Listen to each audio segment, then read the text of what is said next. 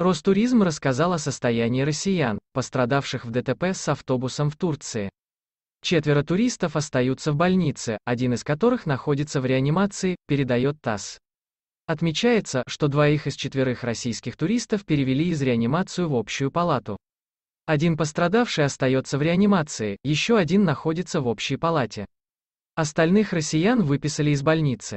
Ростуризм продолжает контролировать ситуацию, подчеркнули в ведомстве. Все медицинские расходы пострадавших россиян, а также иные траты, связанные с их пребыванием на территории Турции и перелетом в Россию, покроют страховая компания и туроператор.